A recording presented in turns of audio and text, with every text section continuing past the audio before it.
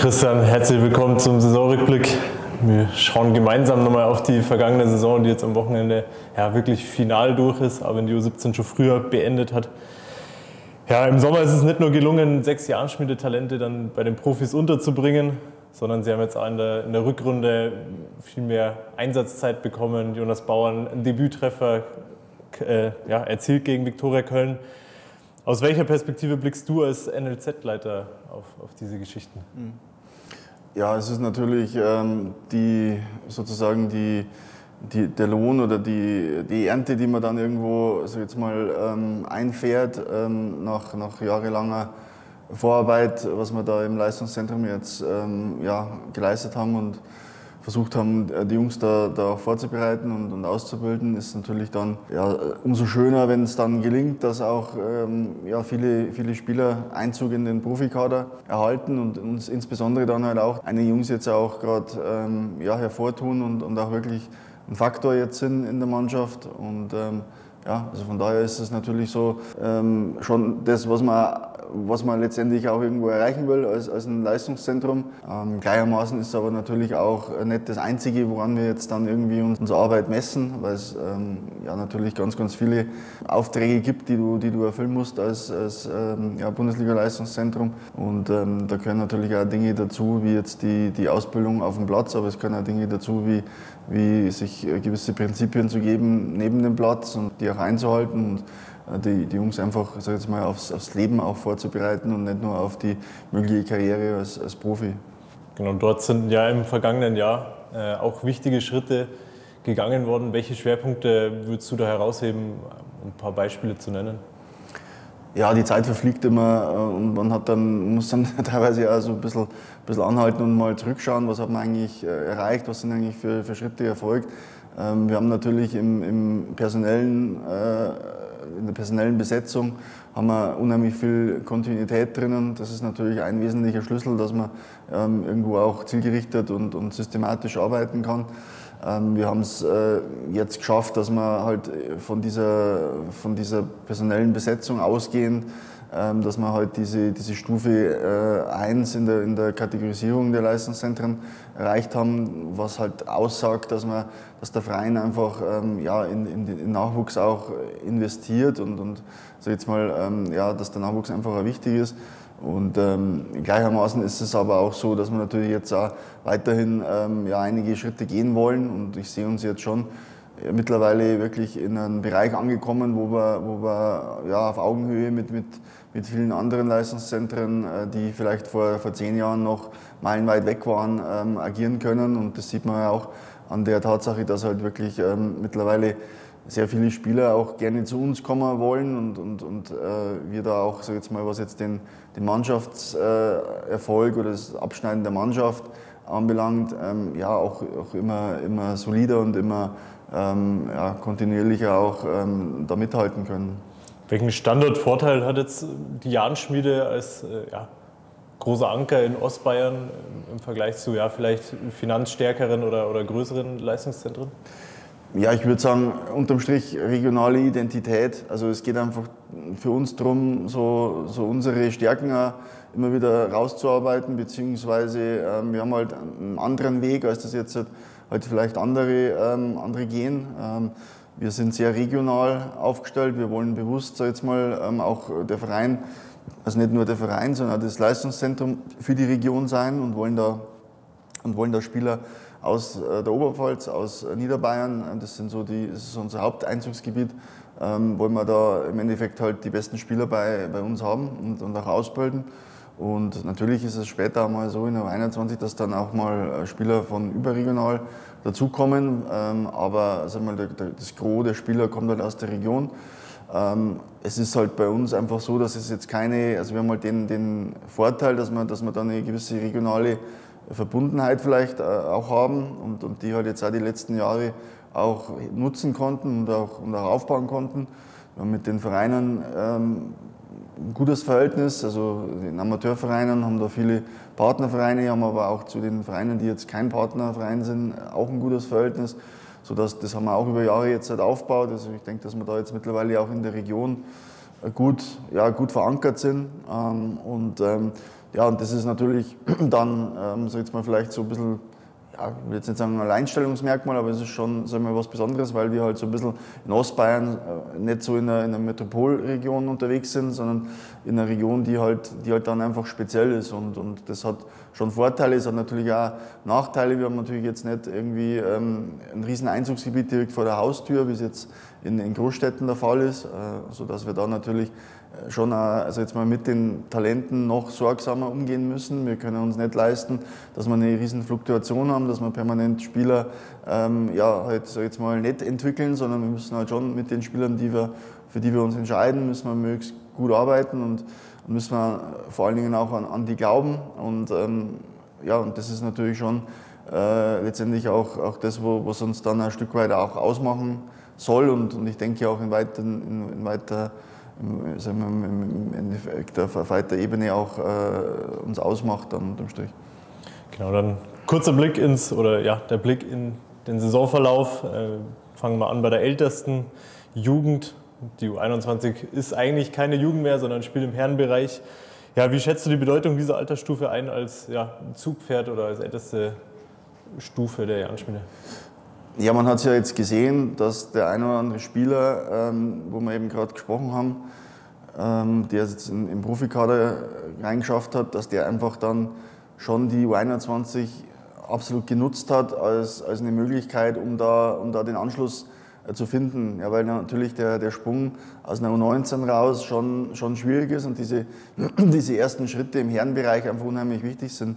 Andere Länder machen es uns davor. In Österreich wird es schon zum Beispiel seit, seit vielen Jahren so, so gehandhabt, dass da im Endeffekt ähm, im Jugendbereich nur bis zu 18 geht und dann halt die Jungs schon im Herrenbereich agieren. Und äh, ich glaube, dass das absolut äh, sinnvoll ist und auch in anderen, äh, anderen Ländern, ich war in, in, Spanien beispielsweise, da ist es auch so, dass die, die Jungs einfach möglichst früher in den Herrenbereich integrieren und dann halt teilweise sogar eine, eine zweite und eine dritte Mannschaft haben. Und ähm, für uns ist halt die, die U21 im Endeffekt, ähm, auch wie der Name schon sagt, auch wirklich eine sehr, sehr junge Mannschaft, die halt Schritte in den, in den Herrenbereich ähm, so jetzt mal ermöglichen soll und, und den Spielern die Spieler bis zu einem gewissen Punkt bringen soll. Und ab da ist es natürlich dann so, dass man dann sagt, okay, dann, dann geht es halt in, in, hoffentlich in den Profikader und, wenn's, und da müssen sie sich halt oben auch durchsetzen und, und, und irgendwo etablieren. Und es gibt natürlich ein paar, also gibt natürlich auch Spieler, die diesen, diesen Sprung oder diesen großen Schritt dann halt vielleicht auch nicht in einem gehen können, sondern wo man dann halt überlegen muss, vielleicht mal einen Spieler auch ähm, ja, für, für ein Jahr zu verleihen oder mal sagen wir, einen anderen Weg zu gehen dann, um halt nochmal so eine Zwischenstufe zu haben, weil wir halt in der Struktur, wie wir jetzt unterwegs sind, das hat jetzt sowohl wirtschaftliche Gründe, es hat aber einfach auch jetzt, ähm, sag jetzt mal, konzeptionelle Gründe. Ähm, da sind wir einfach äh, dann in der Lage, die Spieler aus dem, aus dem Jugendbereich sehr, sehr gut in den Herrenbereich reinzubringen und bis zu einem gewissen Punkt zu, zu bringen. Und dann ist es halt so, dass entweder schaffen sie es halt dann schon im Profibereich, sich durchzusetzen, oder man stellt halt fest, nee, es reicht noch nicht ganz und dann muss man sich halt überlegen, okay, wie ist ein anderer Weg eventuell dann noch, äh, wie kann der dann noch ausschauen. Genau, die meisten haben ja schnell den Talentstatus, aber es äh, braucht einfach mehr, um sich zu etablieren. Welche Faktoren sind dann ausschlaggebend, sich dann wirklich auf auf dem Profiniveau festzuspielen für einen Nachwuchsspieler? Ja, also unterm Strich geht es halt um, um die Thematik, sich an dieses äh, höhere Tempo, an diese, diese nochmal höheren Anforderungen, mehr, mehr Gegnerdruck, mehr, mehr Zeitdruck, ähm, einfach, einfach möglichst schnell zu adaptieren. Ähm, da ist natürlich, da hilft es natürlich, wenn ich das dementsprechende technische äh, Rüstzeug habe, wenn ich, wenn ich die Spielidee kenne und das ist halt auch ein Vorteil, dass wir halt da von der gleichen Idee sprechen durchgehend von, von klein äh, bis, bis groß. Also grundsätzlich unsere, unsere obersten Prinzipien sind da alle, alle identisch. Natürlich ist es in der Ausbildung nochmal ein Unterschied, ob ich jetzt U11 äh, trainiere oder ob ich äh, U19 oder Profis trainiere. Das ist dann schon natürlich am Trainingsplatz sieht es dann teilweise nochmal anders aus, aber, aber letztendlich ist es so, dass die, die Idee die gleiche ist.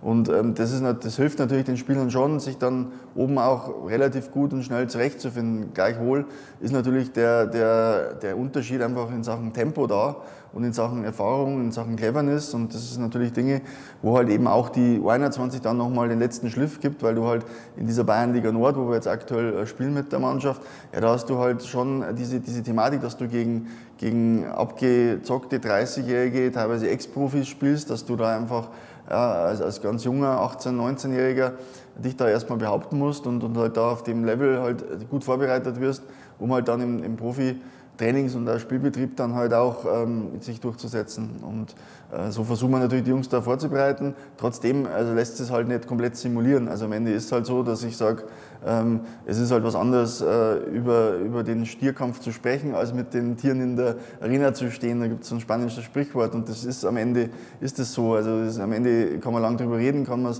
in der Theorie vorbereiten. Am Ende geht es halt darum, das dann ähm, auf dem Platz dann halt auch umzusetzen und da schafft es halt der eine schneller und der andere braucht halt dann vielleicht einen Tick länger. Wie hast du die Entwicklung grundsätzlich in U21 beobachtet in dieser Spielzeit, speziell jetzt auch mit der Verzahnung, mit der engen Verzahnung zum Profikader? Mhm. Also, sagen wir, auf einer individuellen Ebene sind viele Spieler dabei, die gute Schritte gemacht haben, ähm, die da wirklich auch die, die, ähm, ja, diese, diese Saison jetzt genutzt haben. Ähm, jetzt die Jungs, die jetzt eben schon fest oben im Profikader sind, gehören dazu. Aber es sind auch andere Spieler, die sich in der Saison einfach richtig gut entwickelt haben. Ähm, jetzt letztes Beispiel jetzt auch äh, der, der Jo der jetzt halt aus der U19 im Winter hochkam und da auch wirklich gleich sich gut adaptiert hat. Wir kriegen jetzt dann einige weitere Jungs nach ähm, und letztendlich ähm, ist es so, dass sich da viele Jungs gut entwickelt haben. Ich sehe, dass, dass da letztendlich auch sehr gut gearbeitet wird auf dem Platz, sehr akribisch gearbeitet wird ich sage jetzt mal so vom Abschneiden oder von dem, was wir dann am Ende in Sachen äh, Punkte, in Sachen Ergebnisse daraus gemacht haben, ähm, ja, sind wir oder bin ich jetzt so, so mittelzufrieden oder, oder sagen wir mal, da wäre wär sicherlich nur Luft nach oben gewesen, weil wir einfach viele Punkte oder viele Spielverläufe einfach ja, schon aus der Hand gegeben haben. Also wir haben oft äh, also jetzt mal geführt, ich nehme jetzt mal das Extrembeispiel in Hankhofen, wo wir auswärts beim jetzt äh, mittlerweile ähm, Meister der, der Liga äh, geführt haben und 4 zu, mit 4 zu 1 und am Ende nur 5 zu 4 verlieren, wo wir einfach sagen, okay, wir haben halt dann einfach Spiele aus der Hand gegeben, wo uns nicht passieren darf, wo wir es wirklich sehr gut machen und dann halt äh, noch Punkte verlieren und da gibt es jetzt noch ein paar äh, weitere Beispiele, auf die ich jetzt nicht alle eingehen will, aber jetzt mal da, da fehlt uns dann vielleicht in der einen oder anderen Situation noch die, die Cleverness oder halt einfach dieses letzte Dagegenstemmen. Ähm, ja, das, das, sind sicherlich Lernfelder, die wir noch haben. Ähm, wir haben dann auch äh, sagen wir, natürlich die, die Herausforderungen in der U21 immer wieder mit, mit verschiedenen äh, Startformationen auch unterwegs zu sein, weil natürlich auch so unterschiedlich ist. Ähm, die, die, die Jungs, die jetzt eben im Profikader oben sind, die aus der U21 ursprünglich kommen, die sind dann manchmal mit dabei, manchmal ähm, eben auch nicht. Und natürlich ist es uns das Liebste, äh, wenn sie nicht dabei sind, weil sie halt dann äh, oben im Profikader eine Rolle spielen. Ähm, und das ist halt auch immer, immer dann unterschiedlich. Also die Kommunikation mit dem Profi-Trainerteam, mit dem Joe, mit dem Achim ist da wirklich sehr gut. Und trotzdem ist es eine Herausforderung, weil du halt permanent irgendwie ja, ja, also jetzt mal nicht, nicht komplett frei agieren kannst, sondern halt ein Stück weit natürlich ähm, ja, irgendwo irgendwo dann ähm, das Einflüsse sind, die natürlich eine Rolle spielen, ob dann jetzt äh, ein Janik Graf dabei ist, ob ein, äh, ein Jonas Bauer dabei ist, ob ein Kelvin dabei ist, ob Max dabei ist. Also gerade im Offensivbereich hat es dann natürlich schon äh, dann, dann immer wieder veränderte Aufstellungen gegeben. Das ist natürlich auch für einen Trainer nicht ganz so einfach. Ja, dennoch äh, hat die U21 dann ja mit einem ja, schon fulminanten Schlussspurt äh, die Klasse gehalten. Denkt da an, äh, an hohe Siege gegen Feucht und Coburg. Mhm. Ähm, bist du dann grundsätzlich, kann man dem Ganzen dann doch etwas äh, positiv abgewinnen in der Saison? Also, äh, das soll jetzt nicht falsch rüberkommen. Also, grundsätzlich mal sehe ich die, die Arbeit, die wir da machen und, und die, die auch die Jungs dann machen, ähm, sehe ich sehr positiv. Ja, also das Einzige, was ich sage, äh, ist, dass wir letztendlich ergebnistechnisch sicherlich äh, besser dastehen hätten können, wenn wir einfach in der einen oder anderen Situation etwas mehr, mehr Cleverness und etwas mehr Reife gezeigt hätten. Aber das ist natürlich aber auch die große Herausforderung, die du halt hast mit so einer jungen Mannschaft. Ähm, und trotzdem sind es einfach Dinge, die wir, die wir halt künftig auch besser machen müssen. Und äh, jetzt werden wir nächstes Jahr einfach nochmal eine jüngere Mannschaft haben. Wir werden jetzt aus, dem, aus, der, aus der U19 insgesamt zehn Spieler hochbringen. Davon sind äh, sagen wir, die Hälfte ungefähr eigentlich nur 19 Spieler in dem Jahr. Also die könnten jetzt nur, ein Jahr U19 spielen.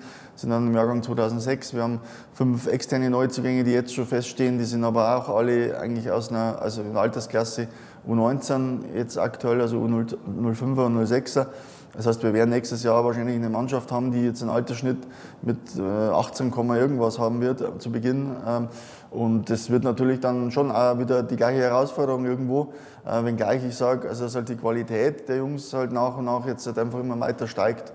Und, und das muss halt dann das müssen wir einfach den Platz bringen und, und da gilt es halt auch, ja, von Anfang an dann da zu sein. Wir werden dann schauen, dass wir noch die eine oder andere Sache vielleicht auch machen, ähm, dass wir vielleicht den einen oder anderen Spieler noch dazu holen. Ähm, aber ich sehe uns schon auch wieder mit sehr, sehr viel spannenden Jungs jetzt aufgestellt und, und letztendlich ist da schon äh, die, die, Zielsetzung nächstes Jahr einfach, dass wir eine, eine, stabile Saison spielen auf Mannschaftsebene. Und die wichtigste Zielsetzung ist einfach, dass wir die Jungs halt für oben äh, einfach vorbereiten und, und empfehlen und, und, und einfach da versuchen, einfach nach und nach halt äh, die nächsten Jahre weiter Spieler auch oben äh, zu integrieren. Inwiefern sind solche ja, personellen Umbrüche gerade mit, mit jungen Spielern eine Herausforderung und äh, welche Bedeutung hat dann die kontinuierliche gute Arbeit von Christoph Young, von, vom Cheftrainer? Ja, das ist natürlich eine ganz spezielle Aufgabe und da haben wir halt mit, mit Christoph und mit seinem Trainerteam Sebastian Brandt, Ivan Pavlic, äh, die, die da halt auf dem Platz stehen, ähm, seit Jahren jetzt auch in dieser Konstellation ähm, haben wir da natürlich ein Team, das eingespielt ist und das eine gewisse Kontinuität hat. Ähm, haben wir da einfach ein Team, wo, wo wirklich äh, ja, einfach auf und neben dem Platz sehr, sehr, sehr, sehr professionell und sehr, sehr stringenter agiert. Ähm, wir haben äh, da natürlich jedes Jahr wieder diese gleiche Herausforderung, dass natürlich jetzt ein großer Wechsel drinnen ist. Also wir haben jetzt aktuell haben wir, ähm, ja, habe ich ja schon gesagt, zwölf, Neu äh, zwölf Abgänge und, und äh, stand jetzt 15 Neuzugänge ähm, oder äh, fünf externe und zehn interne, also dass da halt ein großer Wandel drin ist. Jetzt müssen wir ja die, die Spieler, die im Profibereich gegangen sind, auch noch als Abgänge erzählen in der 21, also dass da halt einfach ja, sich die Mannschaft schon sehr, sehr stark wieder verändert. Trotzdem ist es so, dass, eine gewisse, dass wir schon geschaut haben, dass eine gewisse Achse ja da ist an Spielern, die halt jetzt auch schon auf dem Niveau gespielt haben mit Paul Gebhardt, mit Manu Reis, jetzt mal sind schon auch Leistungsträger da, die jetzt einfach da äh, auch für, für Stabilität sorgen werden. Und ähm, ja, und dann ist natürlich immer diese, diese neue Aufgabe äh, jedes Jahr wieder aufs Neue vom, vom Christoph und seinem Team, dass man da halt einfach möglichst schnell ähm, die Jungs halt ja, auf das Level bringt. Ähm, man hat sie jetzt auch in den letzten Spielen schon gesehen, wir haben ja dann den einen oder anderen schon eingesetzt jetzt auch, die dann nächstes Jahr äh, ja, eine, eine wichtige Rolle im Kader spielen sollen. Ähm, und da haben wir ja auch schon gesehen, dass die Jungs da auf jeden Fall äh, für Akzente sorgen können. Du sagst, zehn Neuzugänge aus der 19, mhm. werden sie sich dann in der, in der jetzigen U19 über die Saison weg auch empfohlen und weiterentwickelt haben? Wie, wie blickst du auf äh, die Spielzeit in der Bayernliga äh, der U19 der A-Jugend? Ja, also unterm Strich ähm, muss man natürlich sagen, dass, dass, dass wir ähm, jetzt, also dass unser Fokus jetzt nicht darauf lag äh, von Anfang an, dass wir jetzt gesagt haben, wir, wir müssen jetzt halt irgendwie ähm, unbedingt äh, Meister werden, weil es ja so war, dass von vornherein ähm, klar war, dass halt diese, diese DFB-Nachwuchsliga kommen wird und dass letztendlich die, die Platzierung jetzt keine Auswirkungen auf die nächste Saison haben wird. Ähm, das muss man natürlich im Hintergrund schon, schon wissen. Von daher haben wir natürlich schon auch ähm, ein Stück weit so agiert, dass wir gesagt haben, okay, wir schieben dann in einzelnen Situationen auch Spieler hoch. Ähm, gleichwohl ist es aber so, dass wir jetzt natürlich mit der Saison, mit dem Abschneiden und mit den Auftritten ähm, über das ganze Jahr gesehen jetzt nicht zufrieden sind. Also das ist auch klar. Wir haben hin und wieder mal Ausreißer äh, nach oben gehabt, wir haben aber dann einfach auch zu viele Ausreißer nach unten gehabt. Und das lag sicherlich, gibt jetzt sicherlich mehrere Gründe da, äh, dafür. Also zum einen natürlich, dass der eine oder andere Spieler vielleicht hochging, aber zum anderen natürlich auch, dass wir äh, letztendlich auch, sag jetzt mal, ja, nicht wirklich so eine so eine richtige äh, Griffigkeit einfach gefunden haben auf dem Platz und, und in gerade Zeit im Spiel gegen den Ball einfach viel zu viel, äh, viel zu viel zugelassen haben, viel zu viel Tore kassiert haben, viel zu ja, naiv und sorglos auch teilweise unterwegs waren. Und ähm, ja, und das gilt halt jetzt äh, schon auch Richtung Herrenbereich abzu, abzuschütteln und so jetzt mal ähm, da dazu zu lernen. Und äh, trotzdem ist es so, dass halt die Qualität schon, schon da ist ja, und, und das auch die Jungs auch in den Ansätzen gezeigt haben. Ähm, nur man muss auch sagen, dass halt einfach einige Spieler schon auch unter dem geblieben sind, was sie, was sie können. So, und jetzt gilt es halt, das aufzuarbeiten. Das ist ja schon passiert äh, letztendlich in den letzten, letzten Wochen. Und äh, gilt es halt nach vorne zu schauen und zu schauen, dass man dann jetzt äh, die Jungs einfach gut in den Herrenbereich überführt. Und dann wird es so sein, nächstes Jahr in der U19 wird ja im Endeffekt äh, ja, sagen wir, fast eine ganze Mannschaft aus der U17 wieder nachkommen, sodass die U19 halt natürlich ebenfalls wieder, wieder sehr viel anders ausschauen wird als in dem Jahr. Und ähm, ja, also deswegen kann man da natürlich sagen, also insgesamt sind wir, sind wir da insgesamt nicht zufrieden. Positiv ist sicherlich, dass wir uns fürs Finale im Pokal äh, qualifiziert haben. Aber die, das Abschneiden in der Saison ist natürlich jetzt nicht so, dass wir gesagt haben, das ist jetzt das, was wir uns äh, ja, grundsätzlich vorstellen. In der U17 war es dann so, dass man den, den Klassenerhalt, auch wenn er jetzt durch die Reform nicht zwingend notwendig ist, sich gesichert hat. Ja. Ähm, man hat aber ja, auf dem Papier 85 Gegentore kassiert. Ist das vielleicht der Ausdruck, dass man konsequent die Jahn-Spielphilosophie äh, spielt und vielleicht da einen, Schritt zurückgeht von den Ergebnissen, sondern ja, wirklich versucht, die, die Jungs individuell zu, zu fördern und zu fordern? Ja, ja und nein. Also klar, also wir haben das sehr, wir haben viele Dinge sehr konsequent umgesetzt. Wir waren aber teilweise einfach dann auch äh, zu, zu naiv oder haben dann einfach versucht, so jetzt mal irgendwie mit Gewalt irgendwie, so jetzt mal unsere, unsere Idee, also was jetzt gerade im Spiel mit Ball dann äh, anbelangt, dann durchzuziehen, waren da, waren da dann teilweise in einigen Spielen einfach zu, zu naiv ja, unterwegs und gegen den Ball, ähm, ja, jetzt mal auch in der, in der Torverteidigung halt vielleicht auch nicht äh, immer konsequent genug. Also am Ende sind die, die, die Anzahl der Gegentore, die sprechen dann halt eine Sprache, die, die ja nicht wegzudiskutieren ist. Trotzdem muss man sagen, wir haben halt in den entscheidenden Spielen, also wir haben, wir haben am Ende haben wir die, die Punkte geholt, dass wir, dass wir auch in der, in der regulären Saison, wo es jetzt um Auf- und Abstieg ging, nicht abgestiegen wären. Das ist ein Riesenerfolg. Also das ist jetzt als Jan Regensburg in dieser Liga mit den Gegnern, also wenn man jetzt sieht, wer da vor uns steht, also da, da sind wir sicherlich äh, einer der Vereine, die jetzt einfach mal so von den Möglichkeiten, was jetzt die, die, das Potenzial, also jetzt mal im Umfeld anbelangt, was jetzt einfach die Ausgangssituation anbelangt, äh, sind wir da auf jeden Fall äh, absoluter Außenseiter und da ist es schon ein Erfolg, dann äh, einfach vor Vereinen wie, wie 60, Ingolstadt, die dann halt teilweise einfach auch andere, andere also jetzt mal Voraussetzungen haben, ähm, mit Internat und so weiter. Also da geht es jetzt dann einfach um, die, um den Einzug, Einzugskreis der Spieler. Ähm, da ist das sicherlich ein Erfolg. Was man halt da bemerkt hat, ist natürlich, dass so bei uns äh, die erste Elf sehr, sehr gut war, aber dass natürlich dann schon auch, sag ich jetzt mal so, die Breite im Kader ein Stück weit dann äh, gefehlt hat. Ähm, und das ist aber auch nicht verwunderlich und das ist halt auch so. Ja, das ist halt dem geschuldet, wie, wie halt unsere, unsere Struktur dann auch ist, unser, unser Einzugsgebiet ist. Und insgesamt bin ich der Meinung, haben wir in der U17 schon einen guten Job gemacht.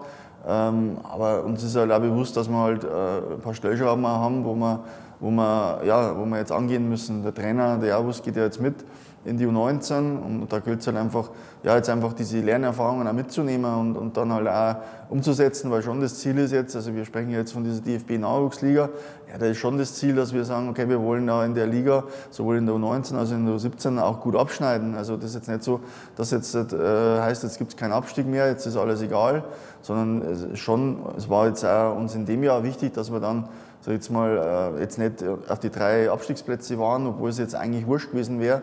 Ähm, und, deswegen ärgert es uns auch ein Stück weit in der U19, dass wir das da eben nicht, nicht geschafft haben, auch wenn es jetzt keine Auswirkungen hat. Und das ist nächstes Jahr schon auch der Auftrag, dass wir da äh, diesen ja, dass wir die Jungs einfach auf den Wettkampf in der, in der, im Jahn-Stadion letztendlich vorbereiten. Und da geht es halt auch nicht, da geht's auch nicht, dass ich sage, okay, das Spiel ist jetzt irgendwie, ist jetzt egal, wie das ausgeht, sondern es ist halt so. Im Fußball geht es halt darum, dass man ein Spiel gewinnen will. Und das heißt jetzt nicht, dass unsere ganze Planung, unsere Kaderplanung jetzt nur auf das abgestellt ist, sondern da wollen wir die Spieler maximal fördern und auch im, im, im Trainingsprozess. Aber am Ende geht es darum, dass wir Spiele gewinnen wollen. Ja? Und das ist schon auch ganz klar das Ziel auch nächstes Jahr und, und das gilt für, für alle Mannschaften.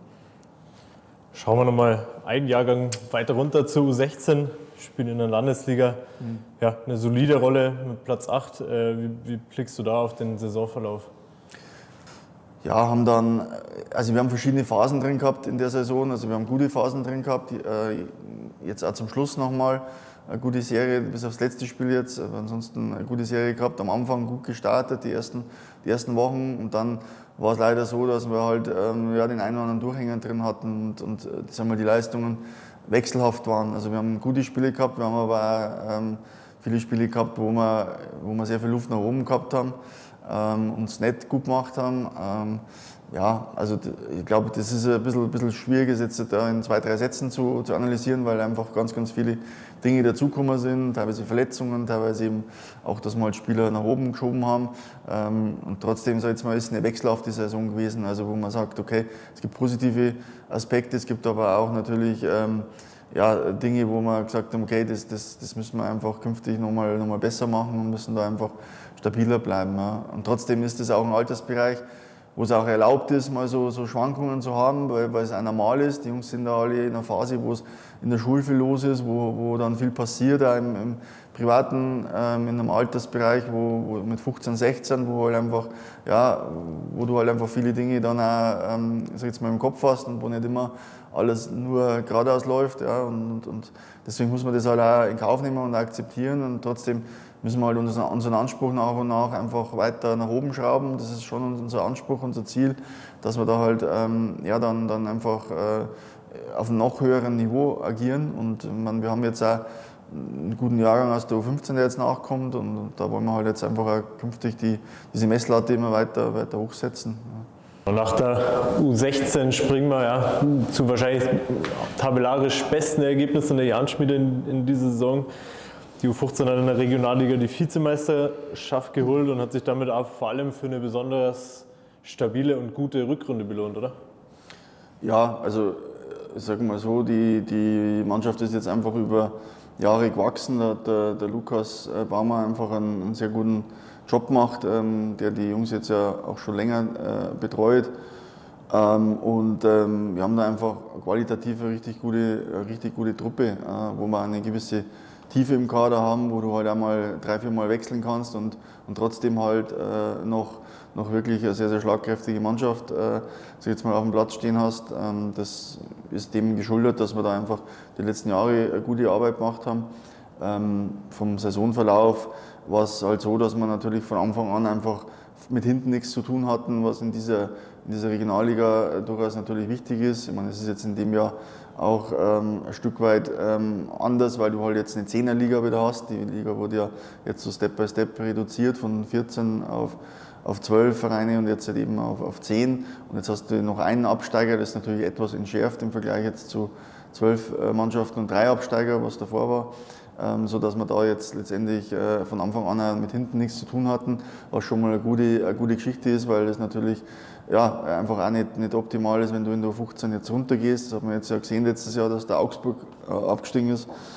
Ähm, und unter anderem. Und ähm, ja, also wir haben da von Anfang an wirklich eine, eine ordentliche Saison gespielt. Ähm, vielleicht in der Vorrunde noch den einen oder anderen, das eine oder andere Spiel drin gehabt, wo wir auch so eine Schwankung drin hatten, äh, wie es jetzt, jetzt gerade bei der U16 auch schon äh, erwähnt hatte. Also wäre sicherlich punktetechnisch noch ein bisschen mehr drin gewesen, weil wir haben jetzt beispielsweise gegen die in die Top 3 Mannschaften äh, haben, wir, haben wir eigentlich wirklich fast alle Spiele gewonnen. Haben, glaube ich, 15 Punkte aus, aus sechs Spielen gegen die Top 3, also die, die im Endeffekt die, die ersten vier sind außer uns. Ähm, und, äh, und letztendlich äh, haben wir dann Punkte gegen, gegen eher Gegner lassen, wo wir eigentlich, äh, ja, sag jetzt mal, qualitativ vielleicht die bessere Mannschaft haben. Ähm, aber in, in, in, Summe haben wir natürlich dann das in der Rückrunde nochmal einen Tick besser gemacht und, und dann wirklich einen sehr, sehr, äh, einen sehr, sehr guten Endspurt auch nochmal hingelegt und dann ja, einfach auch verdient, finde ich, den, den zweiten Platz auch noch geholt. Und äh, also das ist auf jeden Fall eine tolle Sache. Und, und gleichzeitig ist halt auch wie, wie alles im Fußball eine Momentaufnahme und jetzt geht es halt auch weiter äh, in, die, in die nächste Saison und da haben wir auch wieder ein paar spannende Neuzugänge, ähm, die wir dazu kriegen. Also die Mannschaft wird wird da sicherlich auch weiterhin ähm, ja, ihren Weg gehen und wir haben auch einige Jungs drin, die da wirklich interessant sind. Äh, John Biraki hat ja jetzt bei der ungarischen Nationalmannschaft Debüt äh, feiern dürfen, äh, jetzt gegen Österreich. Ähm, und da sind einige, einige Jungs, die da, die da wirklich äh, so jetzt mal einen Weg äh, gehen können. Genau, wir haben von der U17 bis zur U15 über den Leistungsbereich gesprochen. Was sind da so die die wichtigsten Themenschwerpunkte, die die Jungs umtreibt, diese ja, entwickeln müssen? Ja, es geht halt einfach äh, jetzt mal Richtung, Richtung Leistungsfußball, wie der, wie der Name Leistungsbereich auch schon, schon andeutet. Also es geht halt einfach darum, dass man, dass, dass dann halt einfach so das Thema, ja, wir wollen einfach, auch, wir wollen einfach performen, wir wollen Leistung bringen, wir wollen auch Ergebnisse irgendwo dann am Ende erbringen, die halt automatisch kommen, wenn die, wenn die Leistung auf Sicht stabil ist und, und, äh, und gut ist. Ähm, und da wollen wir die Jungs halt in dem Bereich einfach vorbereiten auf das, was dann im Übergangsbereich kommt. Und Übergangsbereich heißt ja im Endeffekt auch Übergang im, im Herrenbereich, was halt dann in der U19 der Job ist und in der U21 insbesondere der Job ist. Und deswegen ist, ist natürlich auch der Leistungsbereich für uns ein ganz, ganz entscheidender, weil wir da halt wirklich die Weichen dann stellen ähm, und, und sich da so rauskristallisiert, okay, wer, wer kann einfach in diesem Bereich äh, sag jetzt mal, da seinen Weg gehen oder wen sehen wir äh, da auf jeden Fall beim Jahren in Sachen Umsetzung unserer Idee. Welche Voraussetzungen bringt jeder mit und wie, und wie von, vom Kopf her ähm, ist jeder dabei. Also was hat jeder der Spieler für eine Beharrlichkeit, für einen Willen, sich da einfach weiterzuentwickeln. Und das heißt, da trennt sich halt dann schon auch so ein bisschen die, trennen sich schon die Wege so ein bisschen und äh, ja, ähm, und das ist natürlich in dem, äh, das, das soll der Name auch irgendwo ein Stück weit dann ausdrücken. Ja. Zum Ende hin blickt man mal auf den Entwicklungsbereich, also von der U14 bis zur U11, also zu den Jüngsten in der Jahnschmiede. Wie ist es um die bestellt? Äh, welche, welche Erlebnisse und Ergebnisse aus der Saison würdest du da jetzt rausblicken, weil der Blick auf die Tabelle ja wahrscheinlich in diesem Bereich nicht, nicht so viel bringt? Ja, genau deswegen will ich ihn auch gar nicht groß äh, bemühen. Also natürlich ähm, ist es so, dass die, die Mannschaften auch da Ziele setzen, dass die natürlich auch die Jungs äh, wollen ja auch, äh, wollen auch gewinnen, die wollen auch so jetzt mal dann sehen, dass sich das irgendwie in der Tabelle vielleicht dann wieder widerspiegelt. Nur das ist jetzt wirklich im Entwicklungsbereich überhaupt nicht das Zentrum unseres Ansatzes, äh, sondern da geht es wirklich, wie der Name schon sagt, um, um Entwicklung, um die Jungs einfach auch wiederum vorzubereiten dann auf, auf den Leistungsbereich. Ähm, und da macht der Philipp Matz äh, mit, mit unserem Team in in, im Entwicklungsbereich einfach einen, einen Top-Job. Also der hat da wirklich jetzt auch nochmal echt viel, viel Energie reinbracht und, und viel ähm, gute Ideen. Wir sind da permanent im Austausch, versuchen da einfach Akzente zu setzen, andere Wege zu gehen, haben uns jetzt viel Gedanken gemacht, wie gehen wir einfach künftig so in, in, in den Bereich der, der verschiedenen Spielformate äh, ran an die Sache und, und versuchen das permanent zu, zu optimieren. Da sind wir wirklich auf einem inhaltlich sehr, sehr guten äh, Level und, und sehr, sehr guten Weg. Und das sieht man auch äh, jetzt immer mehr, also da, dass wir da wirklich eine sehr, sehr gute ähm, Stabilität haben, sehr, sehr gute Qualität haben. Und das sieht man halt jetzt im Vergleich zu vor, vor einigen Jahren noch, wo wir halt immer so am Schluss äh, sagen wir, der, der Tabelle standen in der Förderliga äh, mit, den, mit den anderen äh, Leistungszentren in Bayern. Da sind wir halt jetzt mittlerweile einfach ein paar Plätze nach oben gerückt und können da mithalten und haben natürlich auch da das Thema, dass man halt, dass unser Spieler Einzugsgebiet natürlich ein anderes ist, wie das jetzt bei bei äh, Bayern oder bei, bei ähm, ja, größeren äh, Städten, sage ich jetzt mal in größeren Städten der Fall ist.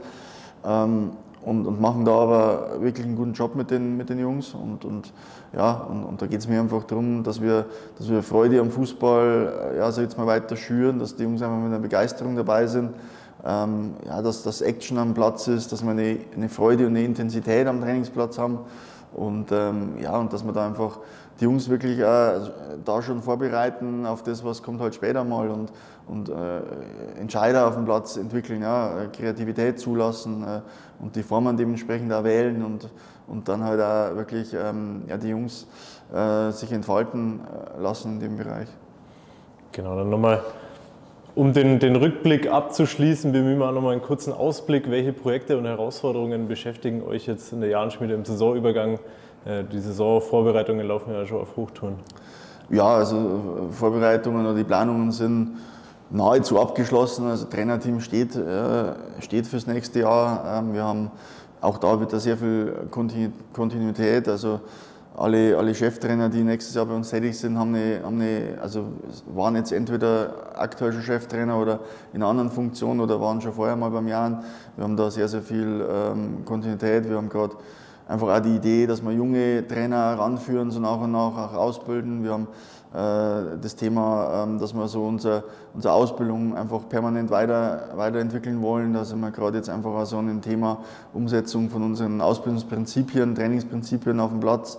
Äh, einfach dran, auch das Thema Spielidee immer weiterzuentwickeln. Ähm, nochmal auch, äh, ja, wirklich auch dann, gerade das geht immer, das eine ist ja immer die, das Konzept oder die, die, die theoretische Vorstellung, wie wollen wir da so agieren. Das andere ist ja immer, wie bringen wir es dann auch am Platz. Und gerade das ist der, der, der entscheidende Punkt. Und da, da sind wir halt gerade dran, dass wir da einfach auch nochmal noch mal Hebel finden und einfach da nochmal besser werden und nochmal weniger, weniger Reibungsverlust von der Theorie in die Praxis haben ähm, und halt am Ende, dass das halt den Jungs zugute kommt, dass die halt einfach eine bestmögliche Ausbildung hier bekommen. Und da sind wir, da sind guter Dinge, sind wir, ähm, ja, machen wir gute Schritte. Wir haben ein paar, haben natürlich das große Neubauprojekt, was irgendwo im Hintergrund noch steht. Das ist, beschäftigt uns jetzt nicht auf einer täglichen Basis, aber das ist natürlich eines der Projekte, was, was, was wichtig ist und dass wir da einfach auch infrastrukturell nochmal nächste Schritte machen, ähm, weil wir da halt einfach noch, noch hinterherhinken, das muss man so ganz klar sagen. Ähm, und, und das ist natürlich ein wichtiges Projekt. Dann haben wir also dieses Thema mit den äh, künftig mit der Zusammenarbeit einfach in der Region mit den, mit den anderen Vereinen, also Ausbildungspartnervereinen, Partnervereinen, wo wir einfach auch viele Ideen haben. Das ist halt immer eine Frage der, der, der Manpower, der Umsetzung, ja, weil es halt einfach ähm, ja, sich halt alles, alles erstmal auch machen lässt und wir halt einfach viele Themen haben, viele Dinge, die wir dann gleichzeitig irgendwie äh, versuchen anzugehen. Da muss man halt auch manchmal schauen, okay, was sind dann gerade halt die, die Prioritäten und wir können halt ähm, eben nicht alles gleichzeitig machen, sondern müssen uns halt dann Step by Step irgendwie dann da, da vorarbeiten. Also das sind so Themen, die uns halt gerade beschäftigen. Ansonsten also Thema, wie wir die Eltern ähm, ja, einfach unterstützen können, äh, weil, weil die Eltern einfach ein ganz wichtiger Faktor sind in der Entwicklung ähm, der Spieler und einfach eine wichtige Rolle spielen. Da sind wir auch gerade also haben wir viele Ideen. Wir haben da also mal äh, gerade so ein Portal, was wir vorbereiten. Wir versuchen da immer wieder mit Veranstaltungen da auch ähm, ja, Input zu, zu liefern. Und, und gleichwohl ist das auch äh, ein, ja, einfach ein, äh, ein, Prozess über eine längere, äh, längere Zeit und, und, das ist jetzt nicht mit einer Maßnahme irgendwie dann, dann getan. Dann weiter, weiterhin viel Erfolg dabei und danke dir. Ja, danke auch.